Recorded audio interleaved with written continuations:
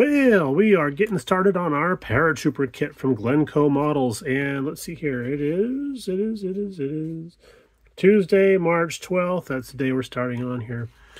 Um, been doing a lot of glue ups. Uh, of course, we don't have instructions for this kit. And I did find a Facebook group for Glencoe Models.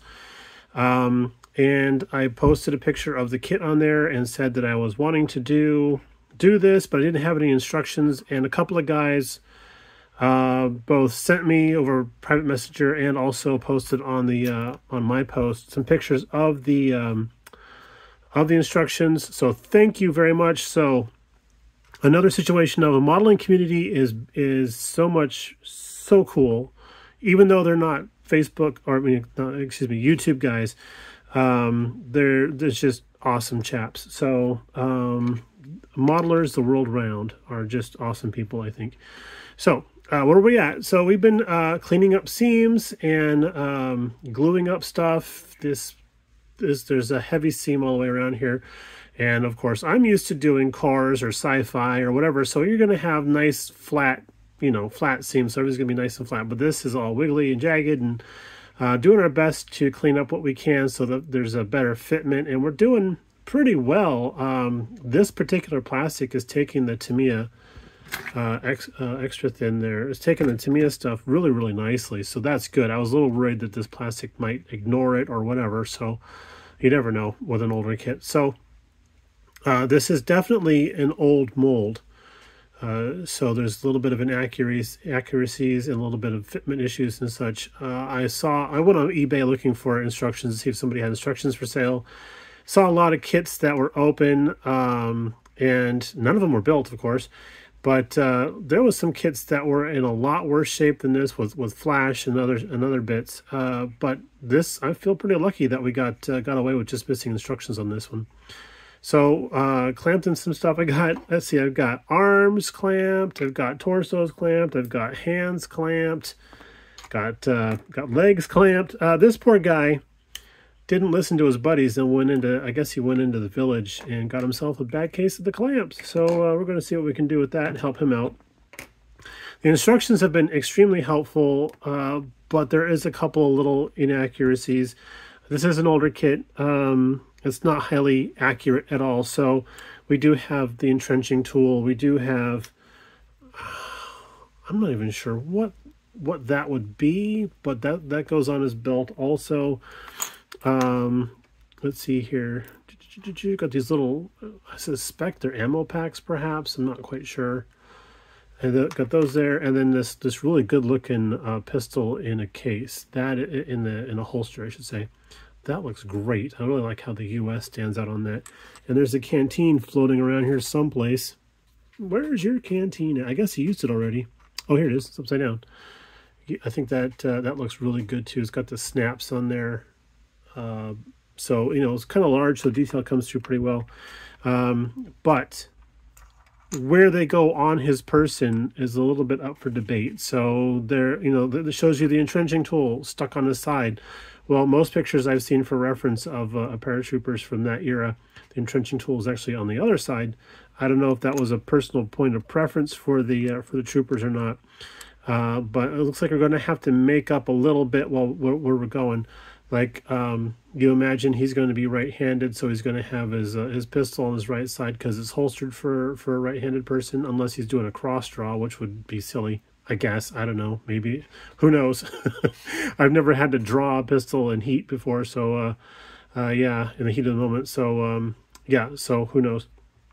If you guys know, let me know. I, I appreciate that greatly.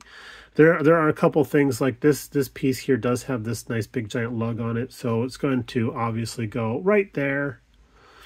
And uh, so, and it fits on there really good. And then, like the canteen, according to the instructions, the canteen actually is going to fit right in here, like that. Sort of. It does fit fairly well.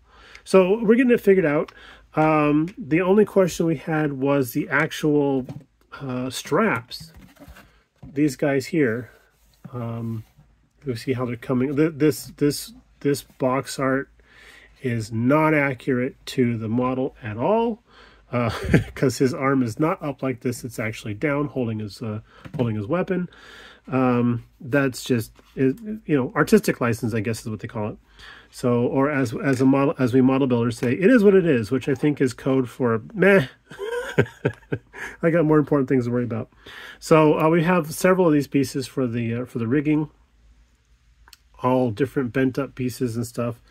Uh, the only thing I've discovered, uh, the instructions have the part numbers and everything, but these didn't have the part numbers on them. So, because I guess there's like a little tab or something that's supposed to have the part number on there. So the part didn't have the part numbers, so I'm trying to make it up. The only thing that I found for 100% certain is this guy, which looks like he matches up right there. And then the hand is supposed to hold this piece here, and then another piece is supposed to come off of that, I guess, sort of like this, in that fashion. His hand will be holding it in, the, in, that, in that crooked piece there. But then there's also pieces that are supposed to come off the back side here, I guess. I'm not 100% sure. So doing some experimentations. I have yet to see pictures of an actual built model. Uh, everything I've seen is just somebody selling stuff. So uh, that's unfortunate. So I don't know. I, I don't. I, I can't possibly be the first one to ever actually build one of these. But uh, you know, it is what it is.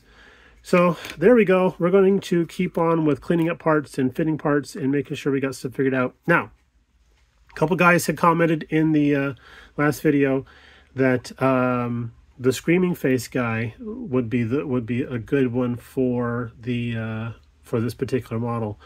Um, and I, I don't discount that. That this is a newer piece that was added for the Desert Storm, I think from 1991, 1990, something like that. Uh, so there was some newer stuff added here. So like the the screaming face, uh, the modern helmet, or at that time the modern helmet, the M203, and um, I think I think that was it. I think the, the, there might be a couple other pieces that might have been added. Uh, maybe these guys. I don't know. So um, I can't remember correctly, but uh, we're going to discount those, set those to the side. We're going with the original bucket, and then we're going to go with the. Uh, this is obviously the original sculpted face for the kit. There's something about this guy. He's just such a I don't know, just such a World War II GI. I mean, he's looks like he's right out of one of the old uh, Stars and Stripes comics, and um, I tell you why. I tell you why I want to go with this face. Just in case building this guy doesn't go to plan. Well, I mean, building is going to be fine. I mean, it's gluing stuff together. But, I mean, painting. If the painting doesn't go to plan and I, I mess it up pretty badly, there's an option we can go with. And since he has this kind of cool little stand here, and um, the there's an emblem with the wings. There it is, right here. This here which should probably go on the stand someplace. I don't know if uh, that's going to go someplace. But, um, but I mean, that, that could go down there pretty nicely. So, I'm waffling, I'm sorry. But it, if it turns out we don't do a very good job painting this guy and we do him a disservice with our with our painting skills, boo, boo, painting skills, we can always turn him into a bronze statue. And I figure this guy has the perfect the perfect likeness for um, a bronze statue that would have been like in, in the town square of a, of a small town that was uh, honoring honoring their their fellows who'd gone off to World War, to serve in World War II and then uh, the paratroopers. So or the 101st so um, yeah so that's that's that's the backup plan. So I think this guy has the best looking likeness for that type of thing. Um, so yeah, so that's where we're at. We're going to go ahead and move on and get on with other things here, and we'll talk to you a little bit when we have more to show. Well, welcome to Wednesday. Um, been doing a lot of stuff around the house, but we finally got some bench time here in the evening.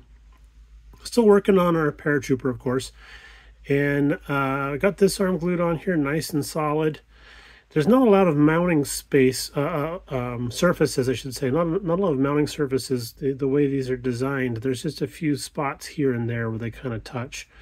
I've done my best for cleaning all this up and uh, getting the best fit I can, but there's still some big gappage. So we're going to zoom in here. Yow! There's a lot of gappage in there, and uh, we used uh, some half millimeter uh, styrene, this stuff here Polystyrene, uh, see number 218, it's a 0.020 rod or half millimeter. This stuff is awesome because it is, um, I actually need tweezers to pick this up off the desk. It is tiny, tiny, tiny, tiny. And uh, it seems like this particular version of this stuff um, takes cement really well. So we're using uh, this guy here, extra thin, and that stuff melts this uh, styrene perfectly. So we can get that mushed into all the joints really, really nice. You see how flexible it's been on there for about 20 minutes. So we can go back in there and mush that in almost like it's a, like, we're making a sprue glue, right there in the spot. Gotta tack that in there a little bit, a little bit more. Uh, but yeah, that's that's doing pretty well. Go around the back side here. So it's filling the gap pretty nicely. We might have to do a little bit of putty work right here. We'll see how it goes. Uh, but uh, so far, that's going good. We got the uh, the other arm glued on there. That one fit a lot better. Uh, still going to probably have to fill in some seams right through here. Uh, this up here is not horrible, but I'll probably fill it just to, you know, put it, you know, just trace it through there just the same. That That's a little large right there. Uh, with the legs, let's pull back again. There we go. With the legs, we've got the boots on. We spent all evening last night actually just sanding and filing, cleaning up the seams. I'm sorry, we're zooming in again, guys. That's a little much. I apologize. There we go. So there was a seam, um, yeah, right down the inseam here and right down the outside. That cleaned up really, really well. I really thought that looked great. Uh, probably a little bit of a, a cleanup job we're going to have to do right in here. Nope, actually that's just a shadow. Okay, cool. I thought that might have been a hole. Just a little bit of a shadow there. And then uh, we have the, the feet glued together and then uh, cleaned up. And now we just shoved that in there and put some cement on there. So you can see there's some gappage going on all around there. So we'll, we'll see if we can fill that also. Uh, I, I, I, presume that if we do the fill work like we do it with the styrene rod, it'll strengthen the joint as much as I can possibly do so. We're not using any super glue on this. We're using all, all uh, cement and um, styrene rod to fill in all the little gaps and stuff because it's going to sand a heck of a lot easier. We had to fill in the trigger guard here had a big gap through there so we put some rod in there also. So we don't want anything leaking out of that grease gun. So there's that. And then let's see, got his got his head put together. That's a palooka, isn't it?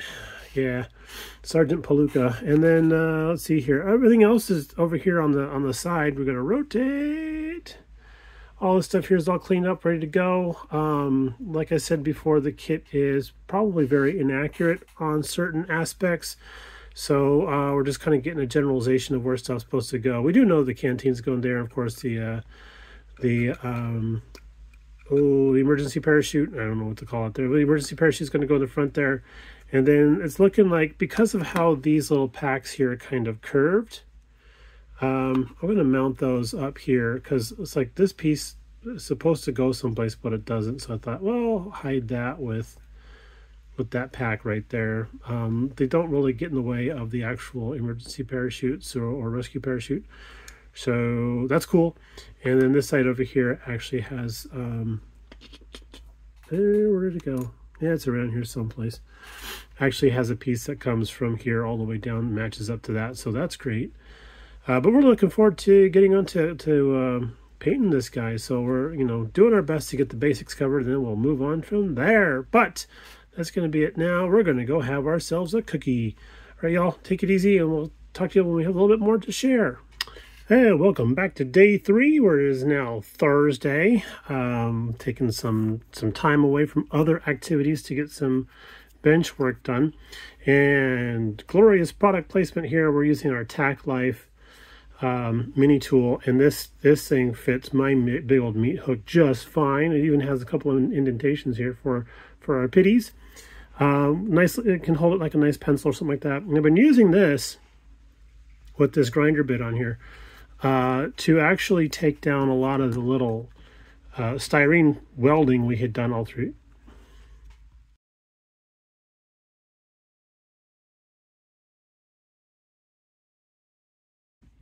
That was awesome. Uh, Mrs. BG always picks just the right time to call. So, where were we? Oh, yes, we're talking about our weld seams. Weld seams. Uh, so we did this styrene rod all through, all through the pits, around the shoulder, and it's you know pretty noticeable that there's something stuffed in there. Um, gosh, you know what? If, if, if we were doing sailing ships, wouldn't they call that? Like chinking or something like that. Um, but uh, there's a plan. So this side here you see is a little better. It's a little bit blended better. And that's because we use we're using that bit. And I've, I've just now switched to this little ball type bit here so we can get in there and just kind of get into that hollow a little better like that. No it's not that quiet. I don't have it turned on. It, this isn't very loud. Um, matter of fact it's just loud enough, enough to drown out the hallmark channel stuff that's going on in, in the room next door typically. Uh, so yeah we're gonna just give that all a nice cut down all that stuff.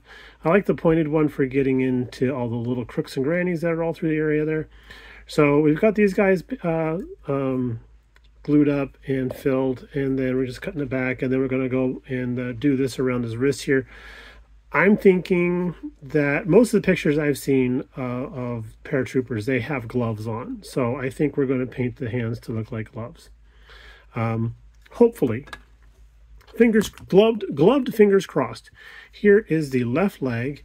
Um, we did have to do a little bit of fill work right in here. I had to actually take it to look at it. You can see the, where there's the white pieces blended right in there. Nice. Yeah, this stuff makes me look like a like I know what I'm doing. So uh, we'll go around and blend in a little bit around um, the boot top there. I, I, actually had for a, a, fleeting moment, I had the notion of sanding off all of this lace detail. It's not very well depicted. Sanding all this lace detail off, drilling holes, and then using this uh, 0.02 styrene rod to make laces. And then I slapped myself and woke up and I was like, that's, you're crazy, man. You're crazy. So um, maybe, maybe someday in the future, I don't know. But uh, here's the left leg. Uh, we got that filled in around the boot top also and just the smooth tread boots. I, I, should put hobnails in there or something, you know. Uh, but um, let's see here. Yeah, so I think there was a little bit of fill. You know what? I can't even see it on here. Oh, to quote the movie star, uh, Christine, I'll be damned if I can't find the fill. There it is, right, right there. There's a, a little bit of a difference in color right there, and we have to do a little bit on the bottom of his uh, leg pouch, right there too. So it's blending in really, really nicely. I'm really glad to see that the that the styrene is playing nicely with the with the model model kit styrene. Uh, there's only one um, area that's going to be of major concern, and that's uh, Sergeant Palooka's face here. Uh, that's on the floor. Just a second. Well, Sergeant Palooka doesn't like being called that. He lost his head. So it doesn't fit in there awesomely. I'm going to have to fill that also there's a couple of good spots where we can attach to tack it in place and then go back and fill in. And then I, uh, my, my plan is to just fill that in as best I can, and then we'll we'll grind it down as best we can. So there we go. And I'll probably end up painting the head in place. Um, Kenny over at, um, gosh, uh, Hobby Link International, I've been watching him do his uh, Green Lantern build, which has kind of like inspired me to go and tackle this dude. But uh, I, you know, he he he does all that really cool masking and stuff with some of the liquid masking agents and, and, and junk. And I thought, yep, that might be a good way to do this too. So I'm pretty sure we're going to be priming this guy all in black anywho. So there's that. Um, everything else is still just sort of laid out on the mat here so I can keep track of it all. But yeah, basically it's just filling filling gaps and seams and then uh, going back and taking care of the fill material. So there we have it. And we'll be back when we have some more or the battery runs out on this guy. Oh, one last bit of information. Yeah, it does come with a chin strap. When I was originally looking at the parts, I was like, no way. This actually comes with a um, an optional beard a la GI Joe style. Uh, so I was trying to fit it. I'm like, that doesn't fit for for crap. Uh, oh wait, that's the chin strap. Uh, yeah, that shows what I know. All right, so we'll be back when we have more. Okay, so we are on Saturday. Uh, this will be the last segment for this video because it's just getting a little long. But uh, yeah, so paratrooper guy here, all glued together into one happy piece. Got all both hands on, got both legs on. I just glued these on a few hours ago. Uh, I was on the phone with my buddy Chuck from Chuck's Chuck's Hobby Spot and uh, chatting away and decided, well, go ahead and glue these guys' legs on. Um, so we're waiting for this to set up a little bit because a um, little bit of advice. If you want to try using this technique where you use uh, some super thin uh, styrene glue or cement and you want to use that super thin uh, styrene rod, the, the uh, 0.02 rod, and you want to start putting that through the joints and stuff like I'm doing here, on whatever build you're doing, uh, make sure that the glue joint that you're working with has been cured up for at least overnight. Uh, I say that because you're going to be putting a lot of uh, cement into these into these joins, and that's going to reactivate whatever's been glued together, and you could end up actually causing yourself a mischief because um, if, if this, this, has only been a few hours, so if I start putting some more cement in there, that's going to loosen this up, and the leg will fall off. So we don't want that. We we want to keep our guy in one piece. So uh, we're going to let him sit overnight, and then we're going to come back and start putting in the, uh, styrene rod through all the joints around the hips I got them to match up as best as we can. Uh, still a little bit of a gappage here and there, but um, I think the rod will cover it. We did do our best on that. We did do an excellent job with um, with with this with this right hand. We got that uh, almost perfect with the join there. So we might not need to do too much rod on there. Maybe just a little bit on the backside there, but uh, very really happy with how he's looking. Oh, and we got the head placed too, and we we did, had to do a lot of sanding around the collar, and uh, so that would sit down on there really well and kind of tip forward a little bit. Uh, now we're kind of like, since he's all in one piece, we're just sort of looking at the base here. And according to the instructions that I've seen, uh, it, they want you to mount the uh, the right, right, left foot, uh, left foot forward here. I want, the, want you to mount them on the base like that. So and it's kind of formed that way. Let's put them on the base, put the toesies in the holesies, and now look at the posies in. And this is, you know, th there's not much fudge factor on how, how to get everything lined up and everything. So he's looking at the ground, um, which is probably something a paratrooper would do when landing. He's going to be watching where to put that other foot and making sure he's not landing in a gopher hole or something like that. So uh, end his trip real soon. So um, yeah, I don't like that pose though. I, I want to be able to see his face a little bit better. I don't want to have this on the highest shelf in the house so I can see his face. So I'm thinking about rotating this around 180 degrees and putting his his uh, his left footsie in there. I like that a lot better. It seems a little more balanced, uh, coming in coming in hot, you know, touching down on just one foot. The other one's going to skip out a little bit. Maybe he's coming a little too fast. But I do like I do like this this way it sits on the base a little better than the way they, they suggest it to be. Also, that gives us a nice field area here so that we can paint up uh, the wings and set those down here too. Let's get this there. There we go. So we can drill a hole, mount this on there, all painted up and everything. So that looks pretty cool. Uh, so I really like I really like that idea. Of course, if we go go with this as a bronze, it probably will actually drill a hole in the bottom of his foot and in here and put a rod through there so that uh, a metal rod so that he um, he actually holds his he doesn't just you know fall over over time or, or break off or something like that because that is a very small contact patch for a lot of because uh, there's still more stuff to put on this guy. So there's a lot of weight going to be up a lot of mass and this is a very small contact patch for that. So I'm thinking that we probably will, will do a whole, maybe even some epoxy. Uh, I think I have some of that buried around here someplace, but we'll do the epoxy deal. But uh, the joints uh, that we've been working with the uh, with our little motorized tool have been really coming along nicely. Yeah, white on this cream color just doesn't really show up well on the camera. I'm sorry. Uh, but uh, I'm really looking forward to getting a, a, first couple of coats of primer on here and seeing how we did, because that's going to let us know it's the little sister. It's going to rat us out on how well we did or how well we didn't. But uh, there we go. So there's that. Got a little tin of, of uh, secrets, or as I call secrets. And uh, all these parts in here have been cleaned up and are ready to be installed. All we have to do is install them. So those are going to get primed up. Some of them will actually be attached and then and then go through the priming process with him, like the canteen and, and a couple other things. The the uh, the parachute bundle in the front that's going to go on a little bit later since it's only got a couple of small attachment points. We don't and we want to be able to paint behind it because you're going to have some sight lines. Uh, we did take a chunk of styrene. It was just out of my offcut bin. Uh, a chunk of styrene uh, square rod. Stuffed it, uh, made the hole just a little bit larger. Stuffed that piece of square rod in there. Glued it in place with a lot of cement. And then we're going to come back and sand that a little bit more contourally to the rest of the uh, parachute pack so that it looks like it's supposed to be there because the hole was really large for the uh, for the handle for the for that parachute yeah the ripcord handle. And um, I thought yeah we should probably shrink that hole just a little bit. So I found that that piece in the offcut bin. And um, another little tip let's see here. Where is the offcut bin? There it is.